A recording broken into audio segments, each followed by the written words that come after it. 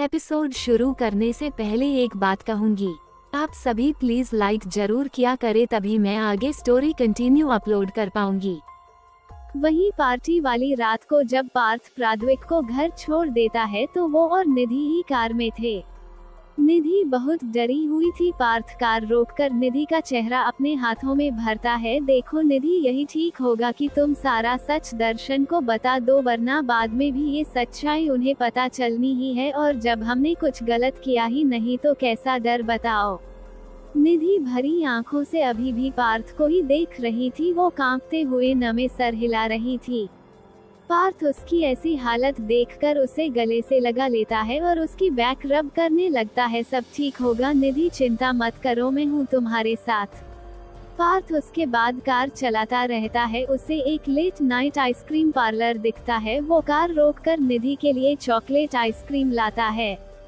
निधि को कुछ होश ही नहीं था कि कब कार रुकी, कब वो उसमें से उतरा और अगले ही पल वो कार के अंदर था और निधि की तरफ़ आइसक्रीम लाकर देता है। निधि जैसे सपने से बाहर आती है और बोलती है, आई आई, एम, सॉरी, मैं नहीं खाऊँगी, प्लीज़ मेरा बिल्कुल मन नहीं है। पार्थ बोला, निधि, अपना मूड ठीक करो, सब ठीक हो जाएगा, ऐसे टेंशन लेने से क्या ही होगा, चलो आइसक्रीम खाते हैं। नहीं, निधि ने मना किया। पार्थ बोला, मेरे लिए निधि, प्लीज़। उसके बाद निधि उससे आइसक्रीम ले लेती है, उसके बाद वो निधि को घर छोड़कर चला जाता है। वही उसी रात निधि करवट बदल बदल कर रह गई थी। एक तो उसे इस रूम में अकेले बहुत डर लग रहा था, सब याद आ रहा था। वही उसे किसी का कॉल आया, उसने देखा तो कॉल अननोन नंबर से थी, वो डरते हुए कॉल उठा लेती है। कॉल से आवाज़ आती है, जो कि जय की थी, हेलो निधि, कैसी हो? I love you baby. Nidhi की डर के मारे हालत खराब थी। वो बोली, तुम तुम, तुम्हारी अकल ठिकाने नहीं आई, इतनी मार खाने के बाद मुझे छोड़ दो, समझे? जय बोला, क्यों निधि, पहले तुमने मेरा यूज़ किया, फिर तुमने दर्शन को फंसा लिया और उसके बाद बहुत ही चालाकी से तुमने पार्थ को भी फंसा रखा है। अपनी बकवास बंद करो, वरना। वो रोते हुए बोली, जय बोला, वरना क्या करोगी निधि, तुम अब मेरा कुछ नहीं कर सकती, पता है क्यों? निधि ने डरते हुए सवाल किया कक क्यों? क्योंकि मैं ज़िंदा हूँ ही नहीं, मैं मर चुका हूँ, हा हा हा। वो शैतानों की तरह हंसने लगा। निधि ने तुरंत फ़ोन फेंक दिया, नीचे और तुरंत अपने बिस्तर पर सिकुड़ कर रोने लगी, आसपास देखने लगी, उसे बहुत डर लग रहा था। कब रोते रोते उसकी आँख लग गई, उसे पता ही नहीं चला। वहीं प्रिया को आद्विक छोड़ने जाता है। कॉलेज आज प्रिया आद्विक से कार में बिल्कुल चिपकी हुई थी। आद्विक को भी प्रिया को ऐसे देखकर हैरानी हो रही थी। प्रिया कार रुकने पर आद्विक को देखती रहती है। जाओ बच्ची आ गया ना कॉलेज। आद्विक बोला, प्रिया आद्विक का हाथ पकड़ लेती है। आद्विक उसका हाथ पकड़कर छुड़वाता हुआ बोला, जाओ बच्ची शाम को घूमने चलेगे ना। प्रिया बोली, आज नहीं जाती, बस आज प्लीज़ कल से पक्का जाऊँगी, कल से अच्छे से पढ़ाई करूँगी प्रोमिस हीरो आज रहने दो ना, मुझे आपके साथ रहना है। नहीं, बच्ची, जाना तो पड़ेगा, चलो। वो उसका हाथ पकड़कर बेहद नरमी से बोला। प्रिया उसके हाथ को नहीं छोड़ रही थी, इसलिए वो बोला, बच्ची, जिद नहीं, चलो। नहीं, जाना ना, आज आपके साथ रहना है। वो बहुत गुस्से से बोली कि उसकी नसें दिखने लगी, उसका ये रूप देखकर आद्विक हैरान था। फिर अचानक प्रिया ने उसका हाथ छोड़ दिया और नीचे बैठ गई घटने मुड़कर। आद्विक ने एक गहरी सांस ली और नीचे बैठकर प्रिया का सर ऊपर उसकी आँखों में देखते हुए। प्रिया भी उसकी आँखों में देखने लगी। वो किसी जिद्दी और अकदू बच्चे की तरह बेटी थी। आद्विक उसे छोटी आँखें करके घूर रहा था और प्रिया नीचे अपनी उंगली से फ्लो पर कुछ डिज़ाइन जैसा बना रही थी। आद्विक उसका हाथ पकड़कर बोला, मेरी तरफ़ देखो यहाँ बच्ची। वो सख्त आवाज़ में बोला तो प्रिया फिर से उसे देखने लगी, उसकी आँखें नम थी। आदविक ने एक सांस ली और उसे अपनी ओर खींच लिया और उसके चेहरे को प्यार से हाथ में भर के बोला, तुम चाहती हो ना मेरे साथ रहना? प्रिया हमें सर हिलाती है। आद्विक बोला, मैं तुमसे बहुत प्यार करूँगा, तुम्हारा ख्याल भी रखूँगा, जो चाहिए सब दूँगा, तुम्हारे लिए सब कुछ करूँगा, तुम बस मेरे लिए उतना कर दो, बच्ची। प्रिया उठकर खड़ी हो गई और आद्विक को कसकर गले लगा लिया। आद्विक ने भी उसे अपनी बाहों के घेरे में ले लिया। वो बोली पर हीरो आपके बिना न मुझे कुछ अच्छा नहीं लगता। आद्विक बोला, मैं हमेशा तुम्हारे साथ हूँ। साथ होने के लिए हमेशा पास होना ज़रूरी नहीं है। फिर भी अगर तुम हमेशा मेरे पास रहना चाहती हो तो तुम्हें पढ़ाई अच्छे से करनी होगी। प्रिया बोली, ठीक है, हीरो मैं जाऊँ। वो मुँह लटका कर बोली तो आद्विक ने उसकी चिन को चूम लिया और बोला, जाओ देखना, तुम्हें सरप्राइज़ दूँगा। ओके, मेरी प्यारी बच्ची। प्रिया मुँह लटकाकर आद्विक की तरफ़ देखते हुए जाने लगी। आद्विक ने मुस्कुराकर बाय किया तो उसने भी पाउट बनाकर बाय कह दिया। उसके बाद आद्विक कुछ देर तक उसी ओर देखता रहा। आज प्रिया का बिहेवियर बहुत अजीब था। खैर, वो ज़्यादा ध्यान न देते हुए वहाँ से चला गया। वही प्रिया क्लास में मन लगाकर पढ़ रही थी। हर लेक्चर के बाद उसने कॉल करके आद्विक से बात की। वो बहुत मेहनत से क्लास में ध्यान दे रही थी क्योंकि उसे आद्विक को शाम को सब बताना था। वही स्नेहा आज कार्तिक के कैफ़े में नहीं गई थी। वो अपनी क्लास लेने गई क्योंकि इतने दिनों से उसने नोट्स भी नहीं लिए थे। जब कार्तिक को ये पता चला कि स्नेहा आई है, आज कॉलेज वो उसका लेक्चर खत्म होते ही उसकी क्लास के बाहर खड़ा हो गया पर स्नेहा ने उसे इग्नोर किया और आगे जाने लगी।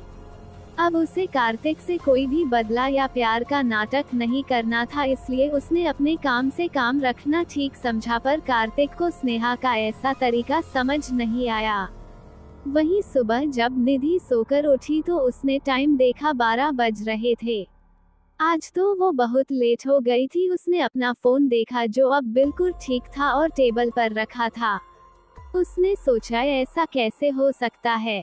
माँ, मैंने मैंने तो ये नीचे वो फ़ोन चेक करती है तो उसमें कोई फ़ोन नहीं था। रात को क्या ऐसा कैसे हो सकता है? इसमें वो ना नंबर कैसे नहीं है? वो मैसेज चेक करती है तो पार्थ का सुबह मैसेज आया था, जिसमें उसने उसे ऑफ़िस आने से मना किया था। वो मैसेज करके पार्थ को शाम को मिलने के लिए बोलती है। वहीं दूसरी तरफ़ उसे दर्शन का कॉल आता है, जिसे वो उठा लेती है। दर्शन बोलता है, हेलो, आज तुम ऑफ़िस नहीं आई? निधि बोली हाँ मैं थोड़ा थक गई हूँ। अच्छा ठीक है, अब फ़ोन रखो और अपने सामने देखो। दर्शन बोला, वो सामने देखती है तो दर्शन उसके सामने था, वो उसे देखकर अब फीका मुस्कुराती है। दर्शन बोलता है, क्या हुआ? तबीयत खराब है। निधि बोली, नहीं नहीं, सब सब ठीक है। दर्शन बोला, तुम बहुत थकी हुई लग रही हो। नहीं तो ऐसा तो नहीं है।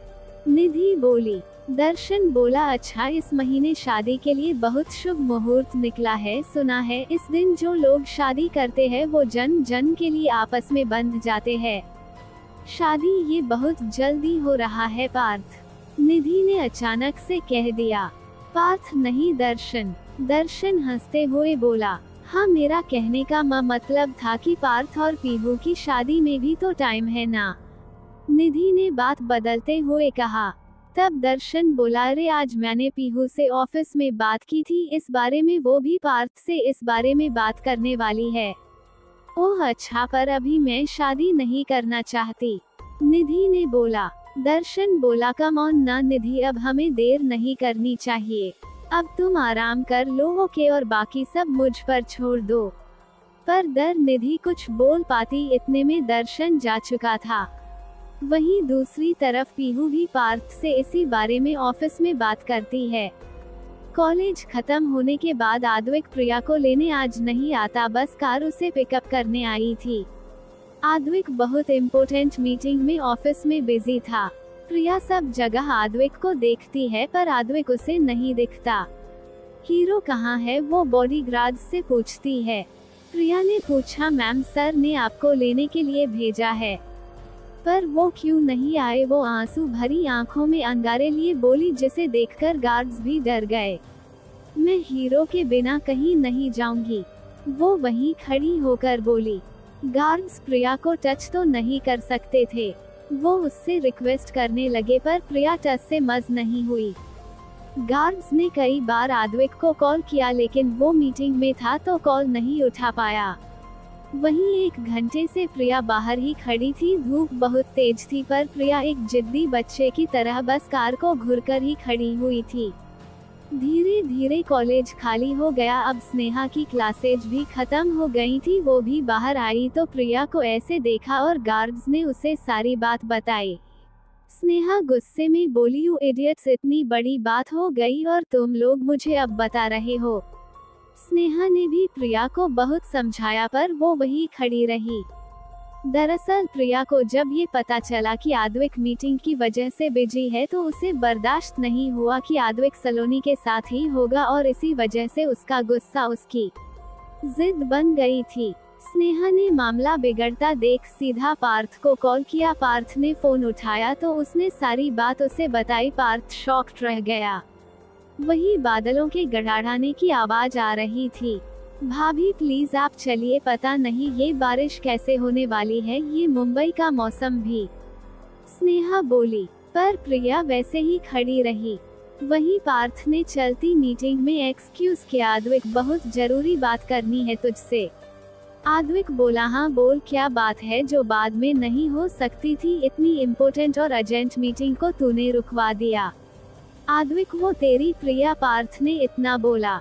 आद्विक बोला, क्या हुआ मेरी बच्ची को? पार्थ बोला, आद्विक, वो दो घंटे से कॉलेज के बाहर ही खड़ी है, तू उसे लेने नहीं आया, इसलिए मुझे स्नेहा ने कॉल करके बताया। आद्विक हैरान था, वो जल्दबाजी में वहाँ से कार लेकर निकला, उसने देखा बूंदे पड़ना शुरू हो गई हैं और कॉलेज तक का रास्ता ऑफ़िस से डेढ़ घंटे का है। वो कार चलाते हुए एक गार्ड को कॉल करता है।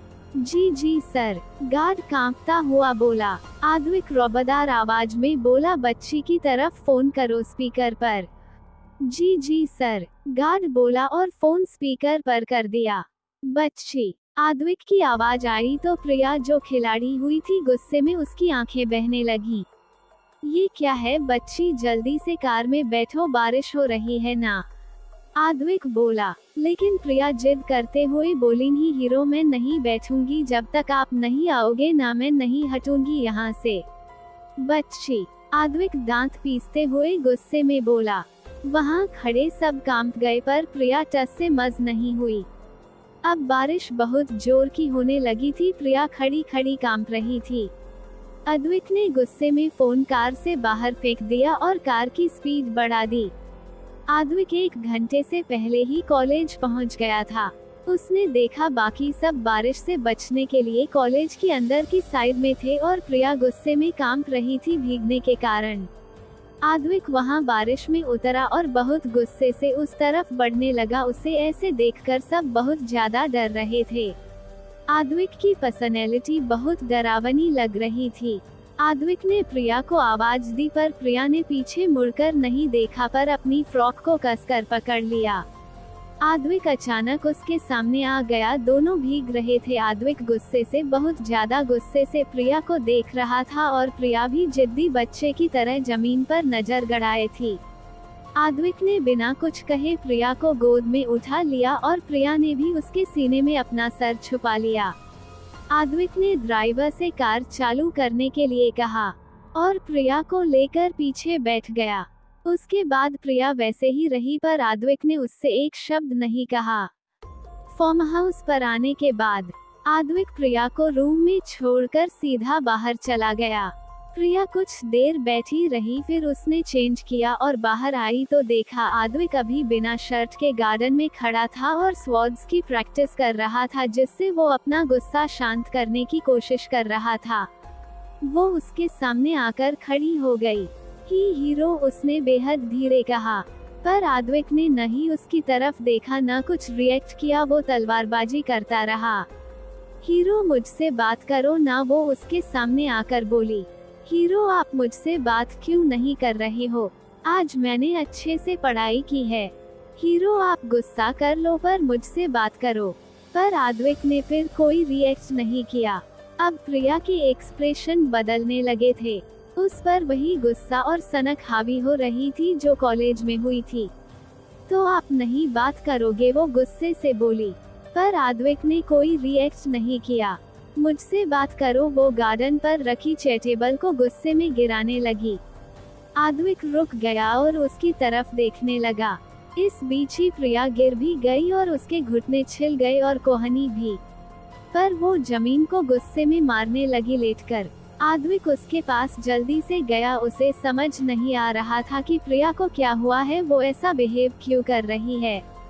उसने प्रिया को जल्दी से उठाया, बच्ची, मैं हूँ कर रहा हूँ, ना बात मेरी। बच्ची, उसने प्रिया को सीने से लगा लिया तो उसे महसूस हुआ, प्रिया का तापमान भट्टी की तरह जल रहा है।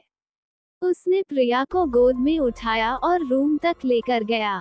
उसने कॉल करके डॉक्टर को बुलाया और उसके बाद वापस किसी केपी कॉल किया। ये स्टिक ट्रस्ट, मिसेस भट्ट। तो अब आएगा कहानी में ट्विस्ट क्योंकि अरोय के दावे हुए राजों से जल्द ही खुलेगा। पर्दा उसके घर वालों के प्रति उसका रवैया और उसकी ये हालत कैसे है? वहीं दूसरी तरफ़, निधि एक रेस्टोरेंट में बैठी थी और पार्थ उसके सामने बैठा था। देखो निधि, ये सब तुम्हारा बहन है, जय की चाल है, ये कोई तुम चिंता मत करो।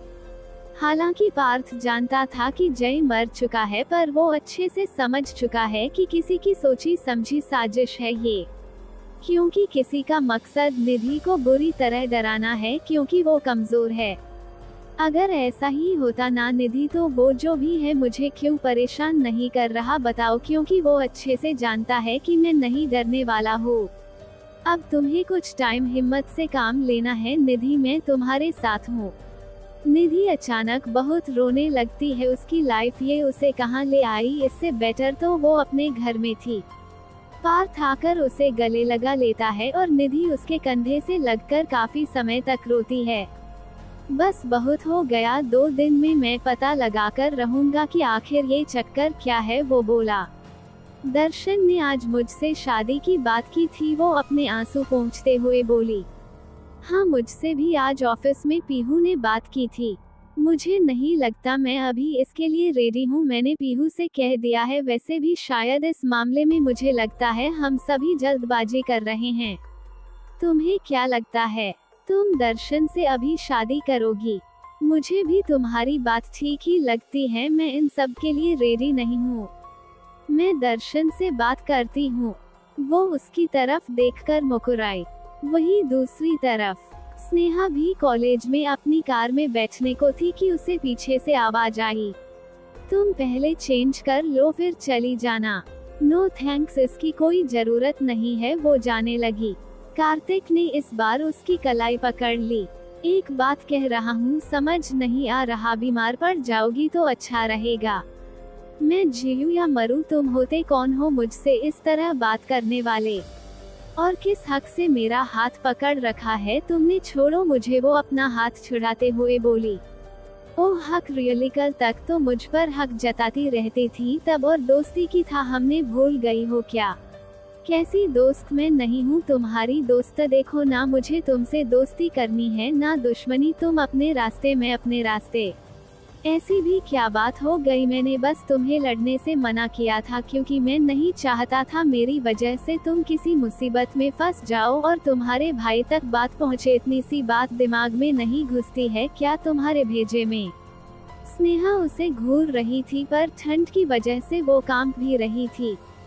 कार्तिक उसका हाथ पकड़कर लेकर गया और अपनी जैकेट उसे उड़ा दी। आज तुम्हारा कैफ़े बंद है क्या? हम तुम्हारे कपड़े हीटर के पास रख देता हूँ, यही कहीं होगा, सूख जाएँगे। तब तक तुम मेरे पहन लो, मैं ला कर देता हूँ। नहीं, शुक्रिया, मेरी कार में एक्स्ट्रा ड्राइस होती है, मैं ड्राइवर अंकल से मंगवा लेती हूँ। अच्छा अब हम दोस्त है, ओके, फिर से कार्तिक ने कहा तो वो भी मुस्कुरा दी। वही स्नेहा उसे बताना चाहती थी कि वो पहले उसके साथ नाटक कर रही थी, इसलिए वो बोली मैं तुम्हारी दोस्ती के भी लायक नहीं हूँ, क्यों?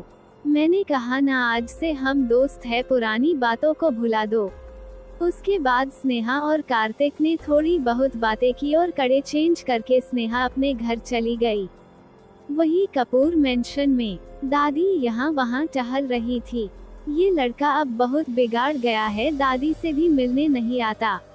मुझे सुशीला प्रिया का जल्द से जल्द पता लगाना होगा, वही इस आदू की ज़िंदगी को ज़िंदगी बनाएगी। मेरी बहू तो वही बनेगी हाँ। प्रिया को डॉक्टर ने चेक किया और कुछ मेडिसिन उसे दे दी, वहीं दूसरी तरफ़ साइकेट्रिस्ट मिसेस भट्ट भी आ चुकी थी। और आद्विक ने उन्हें शुरू से लेकर अब तक की पूरी बात बताई।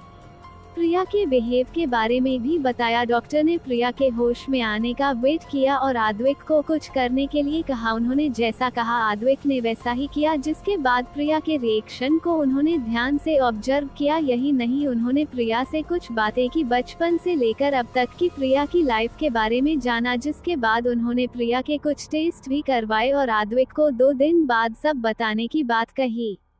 वहीं दूसरी तरफ़ अब प्रिया रूम में अकेली बैठी थी और आद्विक इसके पास खाना लेकर गया, बच्ची, चलो खाना खा लो। प्रिया ने पहले नाराज़ होकर मुँह मोड़ लिया, फिर आद्विक ने उसे अपनी तरफ़ खींचा और प्यार से उसके माथे को छूमा तो वो खाने के लिए तैयार हो गई। आद्विक अपने हाथ से उसे खिलाने लगा। वहीं दूसरी तरफ़, कपूर मेंशन में इस लड़की को कहीं भी ढूंढो और जहाँ भी मिले मुझ तक ले आओ। ही मेरे आदू की दुल्हन बनेंगी हाँ। दादी टेढ़ा मुस्कुराकर कुछ आदमियों को पैसे देते हुए बोली, वो आदमी जी, माँ जी, हम जल्द से जल्द पता लगाने की कोशिश करेंगे। वहीं दूसरी तरफ़, पार्थ ने निधि को फ़ोन करके अर्जेंटली एक जगह बुलाया। निधि को समझ नहीं आ रहा था कि पार्थ ने ऐसे हड़बड़ाहट में उसे क्यों बुलाया है। निधि जल्दी से ऑफ़िस से निकलकर उससे मिलने के लिए गई। वो ऐसी जगह थी जहाँ दूर दूर तक कोई नहीं था, पर बीच में एक मंडप लगा था। निधि को कुछ समझ नहीं आ रहा था कि ये हो क्या रहा है। वो पार्थ को आवाज़ लगाई है, पर पार्थ नहीं आता। उसके सामने वो उसे कॉल लगाती है, पर उसका भी कोई जवाब नहीं आता। वो मुड़कर जाने को थी कि वो किसी से टकरा जाती है, वो सर उठाकर सामने देखती है तो सामने और कोई नहीं पार्थ था। पर उसने दूल्हे की ड्रेस पहन रखी थी जिसे देखकर वो शॉक्ड रह जाती है। पार्थ, तुमने तुमने ये ग्रूम की ड्रेस क्यों पहन रखी है और मुझे यहाँ क्यों बुलाया है?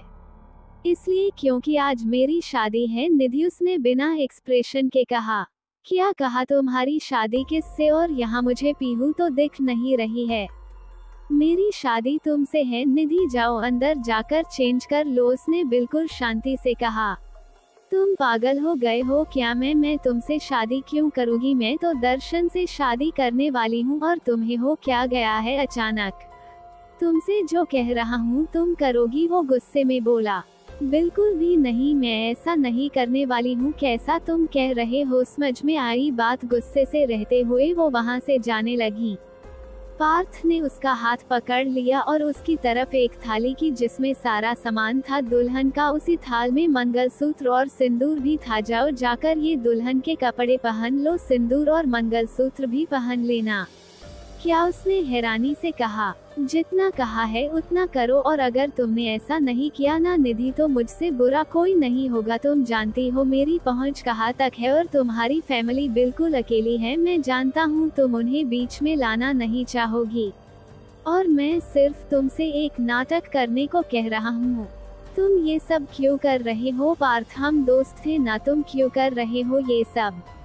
दोस्त कैसा दोस्त जब तुमने मॉल में मुझे थप्पड़ मारा था उसी वक्त तुम मेरी दुश्मन बन चुकी थी, समझ गई ना? अब बहुत हुआ, जाओ जितना कहा है उतना करो। उसकी बातें सुनकर वो हैरान रह गई। तुम ऐसा कर भी कैसे सकते हो?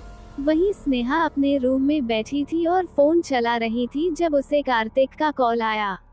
हेलो कार्तिक का क्या बात है? आज मैंने अपने दूसरे कैफ़े का इनोग्रेशन रखा है, तुम्हें भी आना है, ठीक है। वाह, ये तो बहुत अच्छी बात है, मैं पक्का आऊँगी। उसके बाद स्नेहा एक साड़ी पहनकर तैयार हो जाती है। जाने के लिए, वो कैफ़े के लिए निकलती है, उसे कार्तिक और कुछ और वर्कर्स भी वहाँ मिल जाते हैं। हाय गाइस उसे देखते ही सब देखते रह जाते हैं। कार्तिक मुस्कुराकर इतना क्या तैयार होकर आई हो? अब कैफ़े की जगह लोग तुम्हें देखेंगे तो स्नेहा मुँह बना लेती है। क्या मैं अच्छी नहीं लग रही हूँ जो तुम ऐसे बोल रहे हो? नहीं, ऐसी बात नहीं है। तुम साड़ी में बहुत खूबसूरत लग रही हो। सच में वो उसे एक नज़र देखकर बोला तो स्नेहा शर्मा गई। उसके बाद उन्होंने कैफ़े का रिबन काटा और ढेर सारी फ़ोटोज़ ली। ये वाला कैफ़े काफ़ी खूबसूरत लग रहा था। स्नेहा ने बहुत सारी फ़ोटोज़ ली। उसने कार्तिक के साथ भी बहुत सी पिक्स ली। दोनों शाम तक साथ ही रहे। वहीं निधि मौका देखकर वहाँ से भाग गई थी, पर पार्थ ने उसे पकड़ लिया था। निधि रो रही थी, पर पार्थ को कोई फ़र्क नहीं पड़ रहा था। देखो निधि, मैं प्यार से कह रहा हूँ, मान जाओ, वरना अगर मैंने कोई सख्त कदम उठाया है तो तुम्हें ही बुरा लगेगा। तुम एक शैतान हो निधि चिल्लाई। अगर तुमने मेरी बात नहीं मानी तो मैं वो भी बन जाऊँगा। वही दर्शन भी बार बार निधि को कॉल कर रहा था पर कोई जवाब नहीं आ रहा था। निधि कहीं भी नहीं थी, उसने है जगह पता किया। उसने उसकी लोकेशन पता करवाए और वो सुनसान जगह जो जंगल के पास का एरिया है देखकर शौक हो गया। उसने अपनी कार निकाली और वहाँ की तरफ़ बढ़ गया। वही फॉर्म हाउस में। आद्विक प्रिया के बाल सहला रहा था और प्रिया भी लेटी हुई थी। क्या हुआ है? मेरी बच्ची को हाँ बच्ची मैं कभी कभी बिज़ी रहता हूँ। काम तो करना ही पड़ता है ना। कंपनी को संभालना ही पड़ता है ना। पर प्रिया ने बस हाँ में सर हिलाया। वो सुबह से ही उदास सी बैठी थी। कोई बात भी नहीं कर रही थी।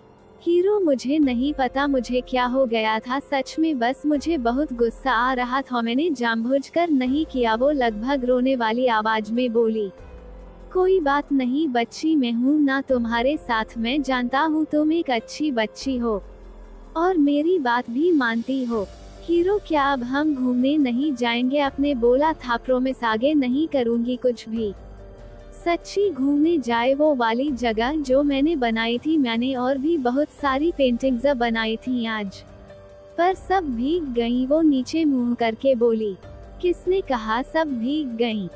सारी नहीं भीगी, मैंने निकाल ली थी तुम्हारे बैग से। क्या सच में हीरो? हाँ पर बच्ची, तुम सिर्फ़ मेरी पेंटिंग जही मत बनाया करो और भी बनाया करो। मुझे आपकी बनानी पसंद है। हीरो वो स्माइल करके बोली अच्छा तैयार हो जाओ, बाहर चल रहे हैं हम। प्रिया खुश हो गई और खुश होकर उसने आद्विक के गाल को चूम लिया। और आद्विक ने भी उसे अपनी गोद में खींच लिया। आखिर वो जानती भी नहीं कि वो आद्विक की वाइफ है। आदविक ने एक एक करके उसकी आँखों को छूमा और उसके गाल को और धीरे से उसके होंठों की तरफ़ बढ़ने लगा। प्रिया की भी आँखें बंद होती गईं जैसे जैसे आदविक उसके नज़दीक आ रहा था। आदविक ने एक बार प्रिया का चेहरा देखा और उसके माथे से माथा जोड़ लिया, तुम कभी नहीं जान पाओगी मेरे लिए कितनी खास हो, मेरे लिए क्या हो तुम? मैं क्या हूँ? प्रिया ने मासूम सा सवाल पूछा। पर आद्विक ने मुस्कुराकर उसको तैयार होकर आने को बोला। आद्विक बाहर वेट करने लगा और प्रिया तैयार होकर आ गई। उसने एक प्यारी सी लॉन्ग फ्रॉक पहनी हुई थी। आद्विक उसे लेकर एक जगह गया जहाँ पर चाँद था और एक ब्रिज था। बच्ची, तुम अंदर जाओ और मैं अभी आता हूँ। आदविक साइड ने जाकर किसी को कॉल करता है और इस वक्त को प्रिया का आदविक नहीं, वही आदविक बिजनेसमैन लग रहा था जो शहर भर में फ़ेमस है।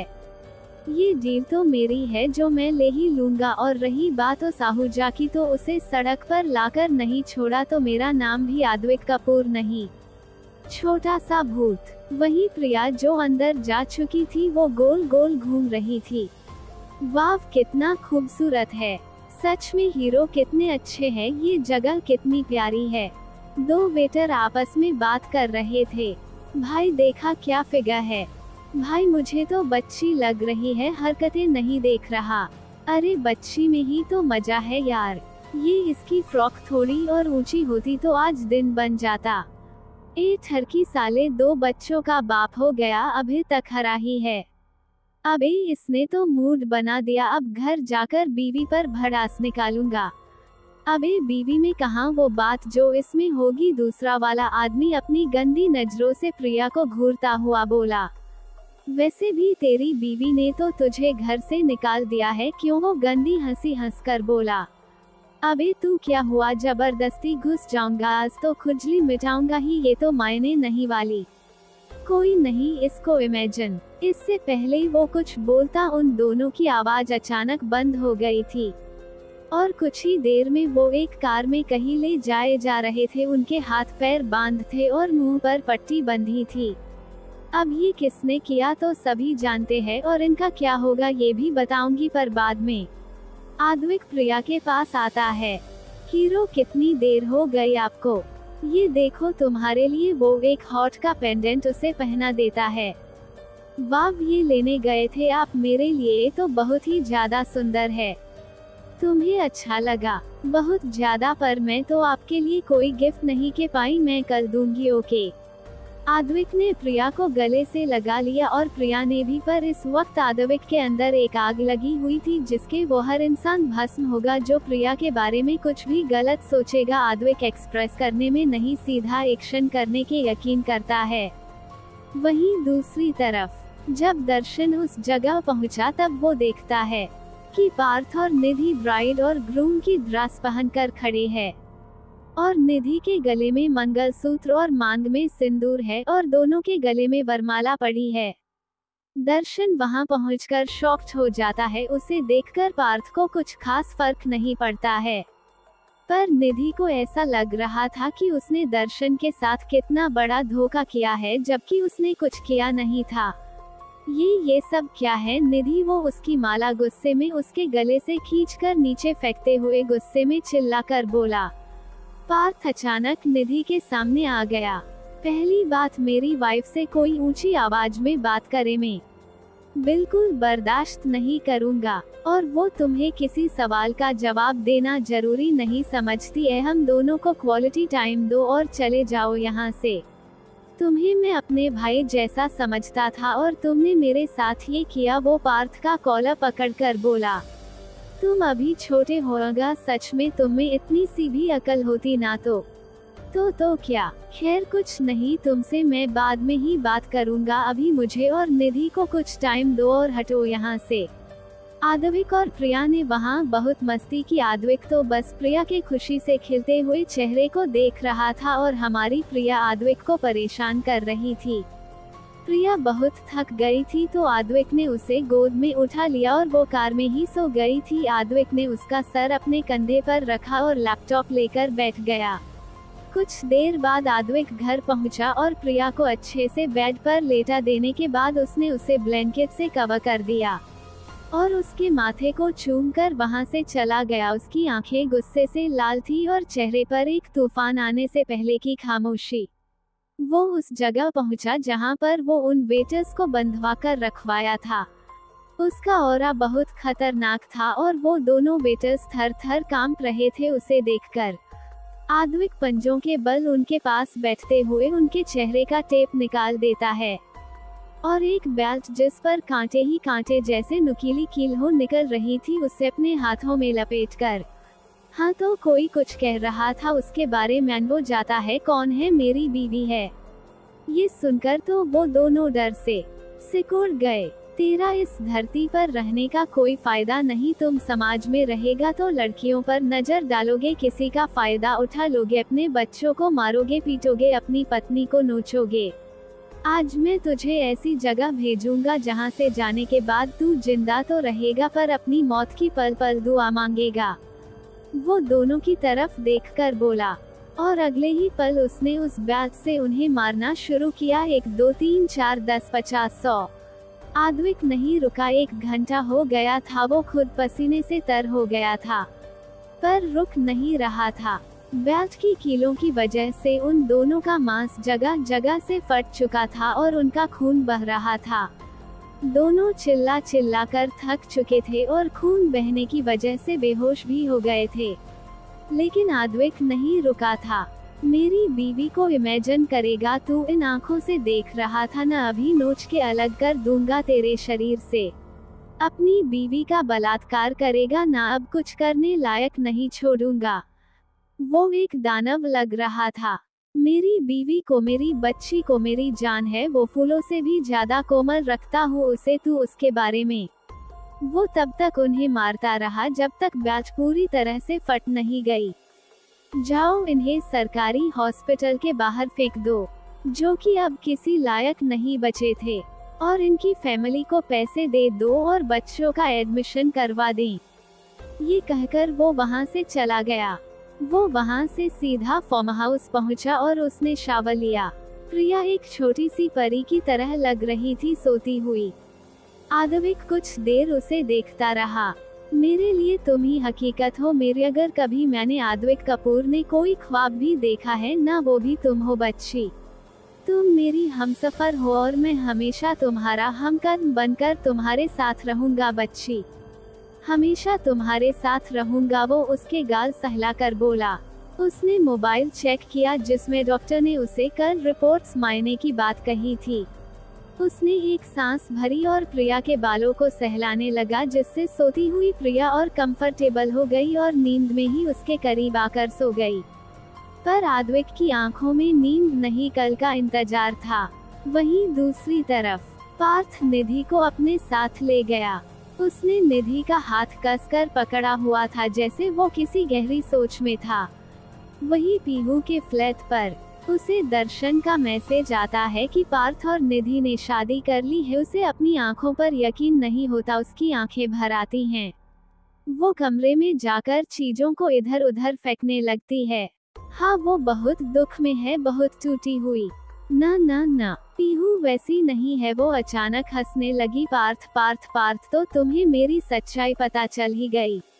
और अब तुम उस निधि को बचाने के लिए उससे शादी भी कर लिए। नहीं, पार्थ, तुम ऐसा कैसे कर सकते हो? तुम तुम तो मेरे थे। नाए, देखो, मेरी उंगली, इसमें तुम्हारी पहनाई हुई रिंग है। तुम मेरे हो, सिर्फ़ मेरे और तुम्हारे लिए। न मैं किसी भी हद तक जा सकती हूँ, किसी भी हद तक। तुम जानते हो मैं पहली नज़र से तुमसे कितना प्यार करती हूँ। पहली नज़र से तुम्हें पाना मेरी चाहत है, लेकिन तुमने मुझसे शादी की बात होने के बावजूद दो घड़ी बैठकर मुझसे कभी बात नहीं की। क्यों पार्थ, क्या मैं इतनी बुरी थी? क्या क्या मैं खूबसूरत नहीं थी?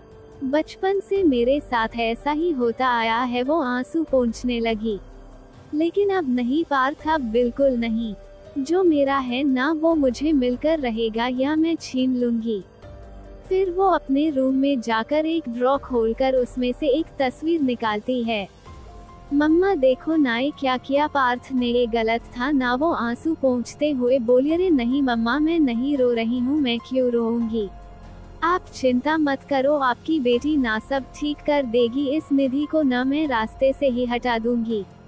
मैं मैं उसे दर्द नहीं दूँगी, मम्मा सच्ची वो मेरी बहुत अच्छी दोस्त है। पर वो हमेशा मेरे और पार्थ के बीच में आ जाती है। उसे कितना डराया मैंने उसके दिमाग से, इतना खेला कि वो पागल हो जाए जैसे मैं उसकी वजह से तिल तिल मारती हूँ, वो भी मरे। पर नहीं, इसमें भी वो पार्थ को बीच में ले आई। वो अलमीरा से एक लाल चुन्नी निकालकर उड़ती है और मेरा के पास जाकर खुद को संकी की तरह मेरा में छू कर देखते हुए थैंक यू मम्मा पर आपसे ज़्यादा सुंदर नहीं लग रही हूँ। अगले दिन, प्रिया की रिपोर्ट आ चुकी थी और आद्विक डॉक्टर से मिलने गया था। और प्रिया इस वक्त सो रही थी क्योंकि अभी सुबह के छह बज रहे थे पर आद्विक को जल्द से जल्द प्रिया के बारे में पता करना था। वो पूरी रात सो भी नहीं पाया था। आद्विक खुद डॉक्टर से मिलने जाता है। आइए मिस्टर कपूर, आद्विक एक गहरी सांस कराकर बैठ जाता है और डॉक्टर आद्विक को प्रिया की रिपोर्ट पास करती है। आद्विक रिपोर्ट्स पढ़ता है तो एक शब्द ज़ोर से कहता है, ओड, ये क्या होता है? Obsessive disorder. अब मैं आपको उस दिन की बात बताती हूँ जिस दिन मैं प्रिया को चेक करने के लिए पहुँची थी। एक तो आपने वो रूम ध्यान से देखा, हर जगह आपकी पेंटिंग थी। वैसे तो ये एक आम बात है, अक्सर अपने प्यार करने वालों की तस्वीरें और पेंटिंग हम बनाया ही करते हैं। पर आपने उन पेंटिंग्स पर गौर कीजिए तो हर पेंटिंग एक स्टोरी की तरह है। ये देखिए डॉक्टर प्रिया की ही एक पेंटिंग जो आद्विक की थी, उसे दिखाती है, जिसमें सिर्फ़ आद्विक था, पर प्रिया नहीं, आद्विक को उसमें कुछ अलग नहीं दिखा, पर डॉक्टर ने जब पेंटिंग में वाद्विक के संग्लासेस पर ध्यान देने को कहा, आद्विक हैरान रह गया, क्योंकि पेंटिंग, क्योंकि उसमें प्रिया भी दिखाई दे रही थी, जो आद्विक की पेंटिंग में इस तरह छुपाकर बनी थी कि एक नज़र में कोई नहीं पहचान पाए। आद्विक डॉक्टर को असमंजस में देखने लगा। देखिए प्रिया की हर पेंटिंग में एक कहानी है, किसी में वो आपके साथ कुछ इमेजिन कर रही है, किसी में कुछ और। वो पूरे दिन आपके बारे में ही सोचती रहती है। ऐसा मुझे उस दिन जब मैंने उससे बातें की, उसने खुद बताया यहाँ तक कि उससे खाने के बारे में भी पूछ लो तो वो आपकी बात करती है। ये आम भी हो सकता है, किसी से बहुत ज़्यादा प्यार करना पर प्रिया के केस में ये कुछ अलग है। उसके बचपन से अब तक मैंने उसकी सारी बातें उससे पूछी, उसका हर काम बिगाड़ना, किसी का उसे प्यार ना करना, अकेले रहना, कोई दोस्त ना होना और धीरे धीरे वो अपनी सिस्टर पर डिपेंड रहने लगी। यही सब धीरे धीरे उसके मन के अंदर एक दूसरी प्रिया की रचना करता रहा, जो प्यार के पार्टनर इन सब की भूनकी थी। पर कभी ऐसा हुआ नहीं और वो पर्सनैलिटी उसके अंदर दबी रही और ग्रो करती रही। फिर वो आपसे मिली और धीरे धीरे उसकी वो पर्सनैलिटी बाहर आने लगी। इतनी प्यार केयर और पार्टनर सब उसे मिल रहा था जिससे वो आपके बारे में ही सोचने लगी और उसने अपनी दुनिया आप में ही बिल्ड कर ली है। कल जो उसने किया वो उसकी इच्छाओं की वजह से है, जो उसने इमेजिन किया हुआ है, वो हमेशा आपका साथ चाहती है और जब ऐसा नहीं होता तो वो अब वापस नॉर्मल प्रिया नहीं बन सकती। अगर ऐसे ही उनका ये पर्सनैलिटी ग्रो करती रही, वो खुद को भी नुकसान पहुँचा सकती हैं। ओवरऑल उनकी बीमारी भी आप है और दवा भी आप ही हैं।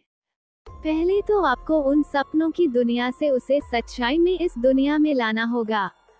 प्रिया की पर्सनैलिटी कुछ यूँ बन गई है कि वो एस्केप होकर जीने लगी है। उन्हें वहाँ से खींच कर असली दुनिया में लाना है। उनसे प्यार से डील करिए। अब आप भी जानते हैं, प्रिया के मन को उसकी जगह खुद को रख कर देखिए, उसे समझने की कोशिश कीजिए। साथ ही साथ उनका बचपना आप जानते ही हैं। आप इस बात का फ़ायदा उठाकर भी उनसे डील करने कोशिश कीजिए। देखिए, बस उन्हें प्यार और केयर की ही नहीं। पर इसके साथ साथ नॉर्मल होने की भी ज़रूरत है। किस वक्त क्या फैसला लेना है, ये आप पर ही डिपेंड करेगा। इसके साथ साथ कुछ दवाइयाँ भी आपको लिख कर दे रही हूँ। आप टाइम टू टाइम उन्हें देते रहिएगा। उनके खान पान का ख्याल रखिए का भी ध्यान रखिए। एक और बात, आप उनकी फैमिली को एक बार कंसल्ट ज़रूर कीजिएगा, क्योंकि उन्होंने प्रिया के साथ जो बिहेव किया, उसकी वजह से ही प्रिया को इतना इफ़ेक्ट हुआ है। आद्विक जो कब से चुपचाप लाल आँखें लिए बैठा था उसकी मुठिया कस गईं। उसने और भी कई बातें डॉक्टर से डिस्कस की और वहाँ से चला गया। उसने गाड़ी प्रिया के घर की तरफ़ बढ़ा ली जहाँ एक और झटका उसका वेट कर रहा था। वहीं दूसरी ओर, पार्थ निधि को अपने साथ कार में बैठाकर ले जा चुका था। निधि पूरे रास्ते उसे गुस्से से घूर रही थी। कार पार्थ के घर के बाहर रुकी और उसने निधि के लिए दरवाज़ा खोला, चलो निधि, मेरी नकली पत्नी, तुम ये सब क्यों कर रहे हो पार्थ?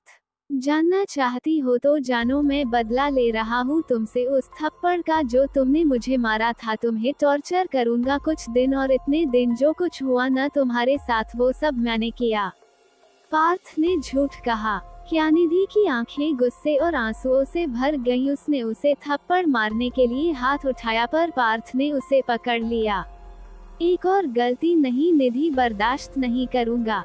चलो, यहाँ से अंदर चलो। वो उसे अंदर ले जाते हुए बोला निधि का हाथ पकड़, वो उसे अंदर ले गया और एक रूम में छोड़कर बाहर से लॉक लगा दिया। निधि दरवाज़ा खटखटाने लगी, पर पार्थ ने एक सांस ली और दर्शन को कॉल करके बुलाया। अद्विक ने कार प्रिया के घर की तरफ़ बढ़ा ली।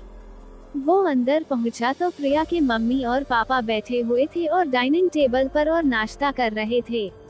आद्विक गुस्से से वहाँ घुस गया और एक लात टेबल पर मारी, जिससे वो दोनों हैरानी से खड़े हो गए। प्रिया की मम्मी गुस्से से, ये क्या बदतमीजी है? बड़े आदमी हो गए अपने घर पर। ये हमारा घर है। पहले ही हमसे हमारी बेटियों को छीन चुके हो। अब और भी कुछ बाकी है। ओ बेटियाँ मतलब प्रिया को भी अपनी बेटी बोलते हुए आपको शर्म नहीं आ रही है? वो लाल आँखों से दोनों को घूर कर बोला। हमें तुम्हें कुछ बताने की ज़रूरत नहीं है कि हम अपनी बच्ची से कितना प्यार करते हैं। माँ बाप है उसके। प्रिया के पापा बोले। ओह सच में आद्विक ज़ोर ज़ोर से हंसने लगा। कोई अपने दुश्मन के साथ भी ऐसा सलूक नहीं करता जैसा आपने मेरी प्रिया के साथ किया है, बचपन से ही उसे सब चीज़ों से दूर रखा उसे। उसे इतना खुद की नज़रों में गिरा दिया कि वो खुद को यूजलेस समझने लगी। उस मासूम पर आपको दया नहीं आई माँ बाप के नाम पर कलंक है आप दोनों। हम उसके माँ बाप नहीं है, अचानक से प्रिया के पापा बोल पड़े। प्रिया की माँ रोते हुए हैरानी से उन्हें देखने लगी। नहीं, आज मुझे कहने दो, वो प्रिया की माँ की तरफ़ देखकर बोले। प्रिया, मेरी बहन की बच्ची है। मेरी बहन, उसका नाम सुप्रिया था कहने को। वो मेरी छोटी बहन थी, पर मैंने उसे अपनी बेटी की तरह पाला था। मैं भी उसे अपनी नंद नहीं, अपनी बहन की तरह प्यार करती थी। प्रिया की माँ बोली। वो बहुत जिद्दी थी। हमारे लाड प्यार ने शायद उसे ऐसा बना दिया था, पर उतने ही मासूम और साफ़ दिल की कभी कभी हमें चिंता रहती थी उसकी कि आज के जमाने में कोई भी उस बेचारी का फ़ायदा न उठा ले और ऐसा ही हुआ। एक लड़का उससे उसे प्यार हो गया, उसकी कच्ची उम्र थी, ऊपर से वो लड़का वो भी कोई आवारा था, लेकिन सुप्रिया वो मानने को तैयार ही नहीं थी। हमने उसे बहुत समझाया पर उसकी जिद उसकी जिद के आगे हमें मजबूर होना पड़ा। वो खुद को नुकसान पहुँचाने लगी थी। वो प्यार में पागल सी ही हो गई थी। उसे उस लड़के के सिवाय और कुछ सूझता ही नहीं था। हमने उसकी शादी उस लड़के से करवा दी, वरना वो खुद को जान से मार लेती। हम यही से उसकी देखभाल करते रहे। उसे पैसे भी भेजते रहते कि सुप्रिया को कोई तकलीफ़ न हो। पर जब उस घटिया इंसान का सुप्रिया से मन भर गया, तब उसने सुप्रिया को एक कोने में फेंक दिया। सुप्रिया फिर भी उसके साथ रहती रही, हमें उसने कुछ नहीं बताया। वो आदमी सुप्रिया की आँखों के सामने दूसरी बीवी ले आया, उसके साथ रहने लगा, पर सुप्रिया फिर भी चुपचाप वहाँ नौकर बनकर रहने लगी। एक बार जब कई दिनों तक उसका फ़ोन या कोई खबर नहीं आती तो मैं खुद उससे मिलने गया। जहाँ सुप्रिया को मैंने बाहर के स्टोर हाउस में देखा, अंदर जाकर देखा तो मैं हैरान रह गया। वहाँ एक चटाई पानी का जग और दूसरा सामान था, ना जाने मेरी बच्ची कितने समय से वहाँ मर मर के जी रही थी। मैं उसे ले जाने लगा, पर वो नहीं मानी, फिर भी उसे ज़बरदस्ती में वहाँ से ले आया। उसके बाद से ही सुप्रिया शांत रहने लगी, वो दरवाजे पर बैठकर अपने पति का इंतज़ार किया करती थी। मैंने डॉक्टर को कंसल्ट किया तो पता लगा उसे एक तरह की बीमारी है ऑब्सेसिव डिप्रेशन वो खुद को भूल चुकी है। उसका जुनून इतना बढ़ चुका था कि वो दिन ब दिन पागल होती जा रही थी। कुछ वक्त बाद ही हमें पता चला वो माँ बनने वाली है। तब निधि दो साल की थी। सुप्रिया को अपना कोई ख्याल न रहता पर धीरे धीरे हम उसका ध्यान उसके बच्चे की तरफ़ डालने लगे जिससे वो कुछ हद तक नॉर्मल होती रही। अब वो काफ़ी हद तक ठीक हो गई थी, उसका नौवा महीना चल रहा था। हम बहुत खुश थे, सब अपनी छोटी सी दुनिया में पर वो वो फिर आ गया। जब सुप्रिया ने उसे देखा तो हमने सोचा भी नहीं था कि वो अपने बच्चे के लिए इतनी मज़बूत बन जाएगी। उसने गुस्से में उसे वहाँ से जाने के लिए कहा, पर वो नहीं माना, वो उसके सामने गिड़गिड़ाने लगा, मिन्नत करने लगा। वो वापस उसे अपने जाल में फंसाना चाहता था। वो बच्चे को अपने साथ ले जाने की बात करने लगा, जिससे सुप्रिया बहुत डर गई, वो गुस्से से भर गई। उसने आसपास देखकर चाकू उठा लिया। हम उसे संभालने की कोशिश करने लगे। पर वो मान ही नहीं रही थी। वो चाकू लेकर उसकी तरफ़ बढ़ी पर उसके नज़दीक जाते ही वो उसे चोट नहीं पहुँचा पाए और फूट फूट कर रोने लगी। तभी उसका लेबर पेन भी शुरू हो गया। हम उसे हॉस्पिटल ले गए और उसके पति को मैंने पुलिस के हवाले करवा दिया। उसने एक प्यारी बच्ची को जन्म दिया जो बिल्कुल उसी के जैसी दिखती थी। इसलिए हमने प्यार से उसका नाम रखा प्रिया। उसने कुछ देर प्रिया को प्यार से देखा और उसके बाद उसकी हालत बिगड़ती चली गई। उसने हमें अपने पास बुलाया और कहा, भाभी, भाई, मुझे माँ माफ़ का, कर दीजिए। माँ, मैं आपकी खूब खुशियों की गुनाहगार हूँ। शायद आपके प्यार की का, कदर न न करने की की सजा मुझे मिली है। मेरी बेटी को का, कभी पर प्यार मत का, करना हो। उसे कभी इतना ला, लाडमा मत करना। उसे खुद सब करते करते रहने देना उस उसके सामने छू चुनौतियाँ खा खड़ी कर करना उसे कि किसी से प्यार ना हो, माँ मेरी ता तरह बना वो खा खुद को खो देगी। ये मेरी आ आखिरी इच्छा है। उसके बाद उसकी आँखें हमेशा के लिए बंद हो गई। इन हाथों से जिससे मैंने बचपन में उसे झुलाया था, उसकी चिता को अग्नि दी मैंने प्रिया के पापा रोते हुए बोले। बस यही वजह थी कि हमें ये सब करना पड़ा। उसकी माँ रोते हुए बोली, हम बुरे हैं, बहुत बुरे। आदविक की आँखें भी भर गई थी क्योंकि उसे समझ आ चुका था कि प्रिया का केस जितना दिख रहा था उससे भी ज़्यादा कॉम्प्लिकेट्स है। अगर उसमें अपने माँ जैसे ट्रेट्स आ गए तो वो सारी हदें पार भी कर सकती है, जैसे सुप्रिया जी ने कर दी थी। आदविक ने इतना ही कहा, आपने जो किया प्रिया के साथ वो गलत था। आई, बिना रुके वो वहाँ से चला गया। और प्रिया की माँ ज़मीन पर बैठ गईं। क्या किसी मरे हुए व्यक्ति को दी गई कसम किसी मासूम से उसका बचपन खुशियाँ यहाँ तक कि उसका अस्तित्व से बड़ी थी प्रिया के पापा भी वही बैठ गए और सुप्रिया को याद करते हुए रोने लगे वही यादवी घर पहुँचा। उसे लेट हो गया था वो रूम में पहुँचा तो प्रिया शायद अभी अभी ही उठी थी और उसे ही ढूंढ रही थी वो आँख मसलती हुई हीरो, आप कहाँ गए थे जानते हो? कितना ढूंढा मैंने, आपको बहुत ढूंढा था। और वो आदविक के गले लग गई किसी छोटे बच्चे की तरह। आदविक उसे देखकर खुद को संभाल नहीं पाया और उसे कसकर गले लगा लिया और प्यार से उसके पूरे चेहरे को चूमने लगा, उसके हाथों को चूमने लगा। क्या हुआ हीरो, किसी ने आपको डांटा है? क्या आप रो क्यों रहे हो? मुझे बताओ मैं उसे छोड़ूँगी नहीं। प्रिया बहुत गुस्से में बोली। आद्विक ने उसके होंठों पर उंगली रख दी। शश शश पर हीरो आप रो नहीं ना, मुझे भी रोना आता है, वो भरी आँखों से बोली।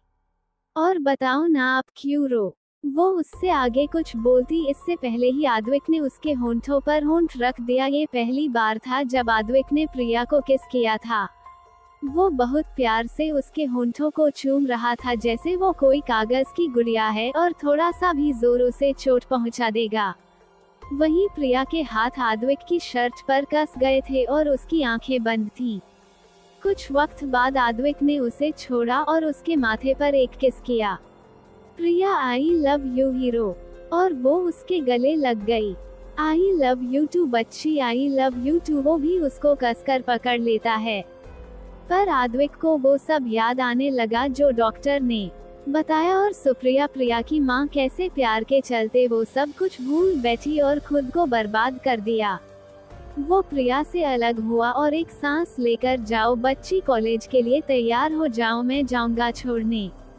प्रिया यहाँ वहाँ देखते हुए हीरो डॉक्टर ने मना किया है और आज रास्ट करने के लिए भी बोला था अच्छा कोई बहाना नहीं, चलो जाओ। पर हीरो, अब तो हम बहुत लेट हो गए हैं, कोई फ़ायदा भी नहीं है ना। मैं बात कर लूँगा कॉलेज में। प्लीज़ मेरे हीरो, आप तो सबसे अच्छे हो, फिर वो खांस कर मेरी तबीयत कुछ ठीक नहीं है, हीरो मुझे सोना चाहिए, फिर दवाई खाऊँगी। आदविक उसके बाल सहलाते हुए, ठीक है, मैं ऑफ़िस जा रहा हूँ, तुम यही रुको और नाश्ता कर लो, तब तक मैं तैयार हो जाता हूँ, ये कहकर वो जाने लगा। तो प्रिया ने उसका हाथ पकड़ लिया। हीरो यहीं से काम कर लो ना प्लीज़ ऑफ़िस तो आप नहीं जाते हो। देखो बच्ची, मुझे ऑफ़िस अब से जाना होगा, वहाँ मेरे बिना कोई काम नहीं करता और अगर ऐसे ही चलता रहा न तो तुम्हारे हीरो का बहुत नाम खराब होगा। क्या तुम ऐसा चाहती हो? प्रिया न में सर हिलाती है। प्रिया ने नाश्ता किया और आद्विक ने उसे दवाई खिला दी और वो तैयार होकर जाने लगा। प्रिया उसे बाय कर रही थी। आद्विक कार में बैठ गया और कार स्टार्ट की तो उसने रियर मिरर से देखा। प्रिया रो रही थी, नहीं आद्विक तुझे नहीं जाना कमज़ोर मत पड़। प्रिया को कुछ समय के लिए अकेला छोड़ दे, उसे नॉर्मल होने दे। थोड़ी थोड़ी दूरी से ही वो आगे बढ़ पाएगी। आदविक बार बार खुद को समझा रहा था। उसने आँखें बंद की और कार स्टार्ट की। प्रिया आद्विक की कार जाते ही वहीं बैठकर रोने लगी। ही हीरो चचले गए। वहीं कुछ देर में ही आद्विक की कार फार्म हाउस के पास रुकी और आद्विक उसमें से उतरकर प्रिया के पास प्रिया के गले लग गया तो प्रिया और ज़ोर से रोने लगी। वहीं कार्तिक और स्नेहा को अच्छी दोस्ती हो गई थी। अब दोनों साथ में टाइम भी स्पेंड करने लगे थे। आज कार्तिक का बर्थडे था और स्नेहा उसी लिए एक सरप्राइज़ सोचती है। वो उसे कॉल करके इमरजेंसी में बुलाती है एक जगह। कार्तिक, कार्तिका, जल्दी आ जाओ। ये गुंडे मुझे यहाँ पकड़ कर रखा है। जल्दी आओ। कार्तिका, मैंने पुलिस को भी फ़ोन किया है। तुम भी आ जाओ। कार्तिका, वो चिल्लाई और फ़ोन काट दिया। कार्तिक बहुत डर गया और बिना सोचे समझे बताई हुई जगह पर चला गया। उसने जैसे ही वहाँ कदम रखा, स्नेहा वहाँ मुस्कुरा कर खड़ी थी। सब सजा हुआ था और केक था बीचों बीच सरप्राइज़, वो अचानक से बोली तो कार्तिक गुस्से में उसकी तरफ़ बढ़कर उसे वॉल से लगा देता है। तुम दो साल की बच्ची हो क्यामजा कैसे होने चाहिए जो हजम हो सके समझी। पता है कितना डर गया था मैं तुम्हें खो देने का ख्याल आ रहा था। का कार्तिका वो अपना हाथ छुड़ाते हुए बोली, आई एम सॉरी, चलो अब केक तो काट लो। ये कहकर वो जाने लगी तो कार्तिक ने वापस से उसका हाथ पकड़कर उसे वॉल से लगा दिया। मुझे प्यार हो गया है, तुमसे Sneha I really need you तुम मज़ाक कर रहे हो, ना स्नेहा उसका हाथ हटाते हुए बोली। No I love you Kartik फिर से इसी सीरियस टोन में बोला। अच्छा तो like friends you love me ऐसे फ्रेंड राइट नहीं, क्या सुनना चाहती हो? सुनो I love you like a partner my women बताओ, और क्या सुनना चाहती हो? स्नेहा उसकी आँखों में देखते हुए बस यही सुना चाहती थी, बस यही। I love you too Kartik, वो उसके गले लग गई। दोनों अपने सच्चे प्यार का इजहार कर चुके थे, पर बहुत बड़ा तूफ़ान इनकी भी लाइफ में आने वाला था।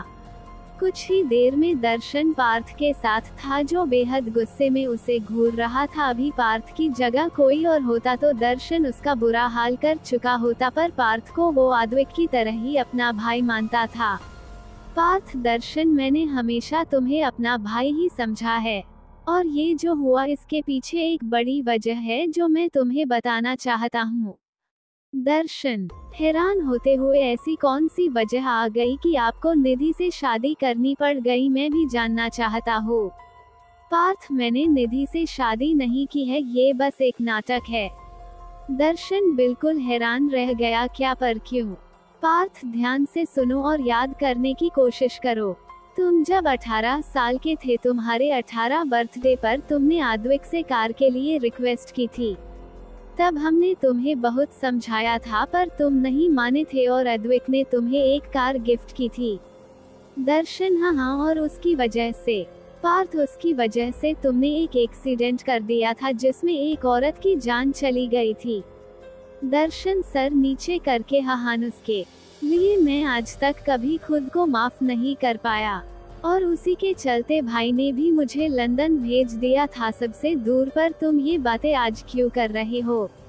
पार्थ, क्योंकि उस एक्सीडेंट में एयर कोई नहीं पीहू की माँ की डेथ हुई थी। क्या दर्शन का मुँह हैरानी से खुला रह गया? पार्थ ने बताना शुरू किया जब उस दिन पीहू ने अपने प्यार का इजहार मुझे किया था, तब उसने बताया था, वो इंदौर से यहाँ आई है और उसके माँ बाप बचपन में ही चल बसे थे। तब तक सब ठीक था। फिर जब हम अक्सर बातें किया करते थे, तब उसने मुझे अपनी माँ के बारे में बताया था कि उसके पापा तो जब वो बहुत छोटी थी तभी गुजर गए थे। उसकी पूरी दुनिया उसकी माँ थी, उसका और कोई नहीं था। उसकी माँ दिन भर काम करती और उसे पढ़ाई लिखाई करवाती। दोनों माँ बेटी ही एक दूसरे का सहारा थी। उसकी माँ पीहू की अच्छी पढ़ाई परवरिश के लिए उसे मुंबई ले आई थी ताकि वो आगे यहाँ कोई मुकाम बना सके। पीहू इस समय 16 साल की थी। उसने अपनी माँ को अपना जीवन और उसके सपनों को अपना सपना मान लिया था। उसे नींद आती अपनी माँ की गोद में वो दस में पढ़ रही थी। उनकी ज़िंदगी खूबसूरती से चल रही थी जब तक तुमने उसकी माँ का एक्सीडेंट। इतना कहकर पार्थ चुप हो गया। दर्शन की आँखें बह रही थी। उसने अपने जिद बचपने और अपने शौक के चलते किसी की ज़िंदगी उजाड़ दी थी। मुझे ये सब उसी के दोस्तों, उसकी डॉक्टर से पता चला जब एक बार उसका फ़ोन मेरे केबिन में रह गया, उस पर साइकाइट्रिस्ट लिखा था, इसलिए मैंने उठा लिया और डॉक्टर ने मुझे उसी बारे में कुछ चौंकाने वाले सच बताए जिन्हें सुनकर मैंने उसकी हिस्ट्री निकलवाए और मुझे सब पता चला। आद्विक ने उसके रिश्तेदारों को बहुत सारे पैसे दिए थे पीहू की देखभाल के लिए पर उन लालचियों ने उसे आद्विक को दिखाने के लिए पढ़ाया। बस बाकी तो उससे नौकरी की तरह सलूक करते थे। बस उस वक्त पीहू को अपनी माँ की बहुत याद आती, ऐसे ही दिल में उसके गुब्बार भरता गया। और वो अपनी माँ से बातें करने लगी। खुद में ही उसमें सब कुछ नॉर्मल था, पर उसकी माँ जैसे हमेशा उसके साथ होती। उसकी माँ जो बातें उससे किया करती थी, उससे वो बहुत प्रभावित थी और उन कहानियों से जो उसकी माँ उसे सुनाया करती। ऐसा नहीं है, वो ये सब नहीं जानती। उसने एक दो बार डॉक्टर से कंसल्ट किया, पर वो बार बार बीच में ही इलाज छोड़ देती, उसे अपनी इसी दुनिया से यार होने लगा। अपनी माँ का सपना पूरा करने वापस पीहू मुंबई आ गई और यहाँ की सबसे बड़ी कंपनी में काम करने लगी। इसी बीच उसकी मुलाकात मुझसे हुई। मैं निधि को पसंद नहीं करता था। उसे परेशान करने के लिए अक्सर मैं पीहू से बहुत अच्छे से बात करता, जिससे पोहू मुझे पसंद करने लगी। और उसने मुझसे इजहार कर दिया। मैंने भी उसे हाँ कह दिया। पर धीरे धीरे जब मेरी दोस्ती निधि से भी हो गई तो पीहू को ये बिल्कुल पसंद नहीं आता था। वो बर्दाश्त नहीं कर पा रही थी, इसलिए उसने कई बार निधि को नुकसान पहुँचाने की कोशिश की।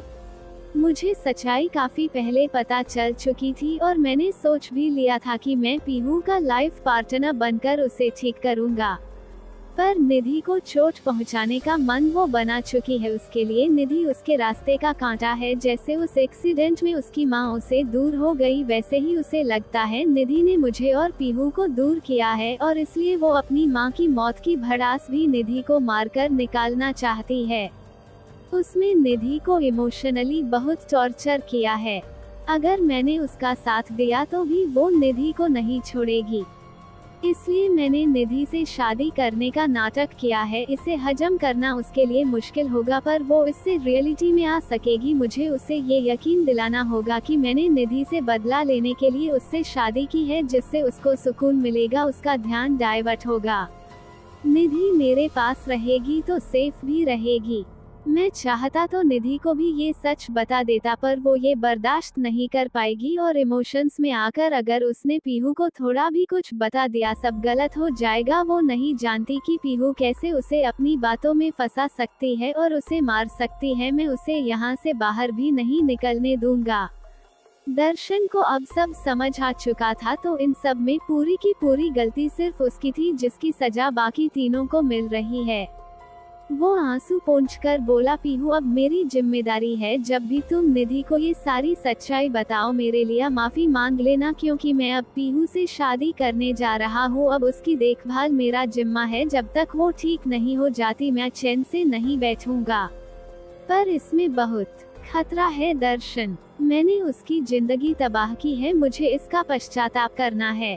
अगर आपको स्टोरी पसंद आए तो लाइक और कमेंट ज़रूर करें और आगे की स्टोरी के अपडेट के लिए चैनल को सब्सक्राइब करना ना भूले।